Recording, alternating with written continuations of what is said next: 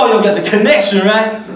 You got your little app. There's a Bible app. If you need the app, let me know. I'll get it for you. So you can you take that excuse away. Well, I don't have the word with me. Mm. Hold on, let me text somebody and tell them, get on your word. Tweet that. Tweet that, text that, email that, email that. Because we became such a fast society now. Oh, go ahead and email them. Tell them, get in their word. Hallelujah. Tell them, get in the word. Get in the word. Let the word begin to take you to table where you can sit in abundance. Hallelujah. For God have none of us to be short. Hallelujah. To be without, to lack. God would want none of us to lack. Hallelujah. But we make up our own mind to live the way that we do. Yes, we do.